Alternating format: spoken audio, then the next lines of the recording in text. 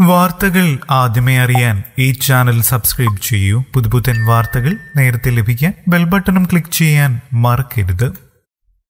മലയാളികളുടെ എക്കാലത്തെയും പ്രിയപ്പെട്ട അഭിനേത്രികളിൽ ഒരാളാണ് മഞ്ജു വാര്യർ. ലേഡി സൂപ്പർ സ്റ്റാറായാണ് താരത്തെ വിശേഷിപ്പിക്കാറുള്ളത്. എല്ലാ തരത്തിലുള്ള കഥാപാത്രവും തന്നിൽ ഭദ്രമാണെന്ന് തെളിയിച്ച് മുന്നേറുകയാണ് മഞ്ജു. പതിനേഴാമത്തെ വയസ്സിലായിരുന്നു മഞ്ജു വാര്യർ അഭിനയിച്ചു തുടങ്ങിയത്. സാക്ഷ്യം എന്ന ചിത്രത്തിലൂടെ തുടക്കമിട്ട സിനിമാ ജീവിതം വിജയകരമായി മുന്നേറുകയാണ്. കരിയറിലെയും വ്യക്തിജീവിതത്തിലെയും പ്രതിസന്ധികളെയുമെല്ലാം ധൈര്യത്തോടെ നേരിടുകയായിരുന്നു താരം.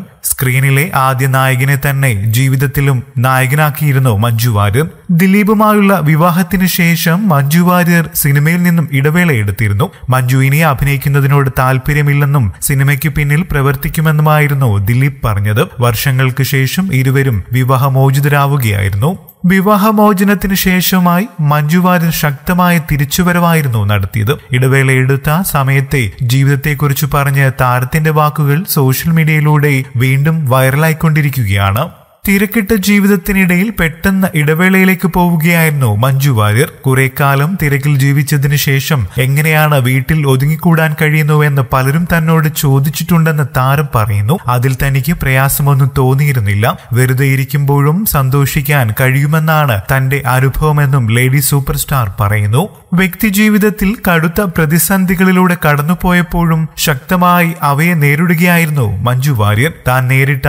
പ്രതിസന്ധികളെക്കുറിച്ച് ഒരു വാക്കുപോലും താരം സംസാരിക്കാറുണ്ടായിരുന്നില്ല. പതിനാല് വർഷത്തിൽ ഒരിക്കൽ പോലും ജോലി ചെയ്യാൻ കഴിയാത്തതിന്റെ പേരിൽ മനസ്സ് വേദനിച്ചിട്ടില്ല. ഇക്കാലം അത്രയും വീട്ടിൽ ഒരു സ്ത്രീ എന്ന നിലയിൽ താൻ ശരിക്കും ആസ്വദിക്കുകയായിരുന്നുവെന്നും മഞ്ജു വാര്യർ പറയുന്നു. രണ്ടായിരത്തി പതിനാലിലായിരുന്നു ദിലീപും മഞ്ജു വാര്യരും വിവാഹമോചിതരായത്. ഇരുവരും തമ്മിൽ അഭിപ്രായ വ്യത്യാസങ്ങളുണ്ടെന്ന തരത്തിലുള്ള റിപ്പോർട്ടുകൾ മുൻപേ പുറത്തു വന്നിരുന്നു. വിവാഹമോചനത്തെക്കുറിച്ച് ഇരുവരും പരസ്യമായി സംസാരിച്ചിരുന്നില്ലെന്നതാണ് ശ്രദ്ധേയമായ കാര്യം. പരസ്പരമുള്ള പഴിച്ചാറലുകളില്ലാതെ ഇരുവരും വഴിപിരിയുകയായിരുന്നു. അച്ഛനോടൊപ്പം പോവാനാണ് താല്പര്യമെന്ന് മീനാക്ഷി പറഞ്ഞതോടെ ആ തീരുമാനം അംഗീകരിക്കുകയായിരുന്നു മഞ്ജു വാര്യർ. നൃത്തവേദിയിലൂടെയായിരുന്നു മഞ്ജു വാര്യർ കലാരംഗത്തേക്ക് തിരിച്ചെത്തിയത്. കുട്ടിക്കാലം മുതലേ തന്നെ നൃത്തം അഭ്യസിച്ചിരുന്നു താരം. മകളുടെ ഡാൻസ് പഠനത്തിന് സൗകര്യമുണ്ടോ എന്ന കാര്യത്തിൽ അങ്ങേയറ്റത്തെ ശ്രദ്ധയായിരുന്നു മഞ്ജു വാര്യർ നൽകിയത്. ഗുരുവായൂരിലെ നൃത്തം കാണാനായി സിനിമാ രംഗത്ത് നിന്നും നിരവധി പേരായിരുന്നു എത്തിയത്. ഇതിനുശേഷമായാണ് അമിതാഭ് ബച്ചനൊപ്പം പരസ്യത്തിലും മഞ്ജു വാര്യർ അഭിനയിച്ചത്. റോഷൻ ആൻഡ്രു സംവിധാനം ചെയ്ത ഹവോൾഡ് ആർ യു എന്ന ചിത്രത്തിലൂടെയായിരുന്നു മഞ്ജു വാര്യർ വീണ്ടും സിനിമയിലേക്ക് തിരിച്ചെത്തിയത്. നിരുപമ രാജീവ് എന്ന